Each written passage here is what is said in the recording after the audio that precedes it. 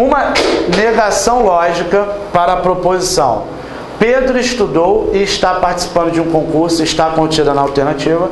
Questãozinha de negação, negação, já te dei um macete, tu viu que é muito fácil. Negação do E. Como é que é a negação do E, gente? Nega tudo, troca um pelo outro, não é isso? Primeira coisa, como é que você faz para negar o E e o O? Você troca um para o outro e nega tudo, que é a mesma coisa que eu acabei de falar. Então, como é que tu faz para negar o E pro negar o E e o O?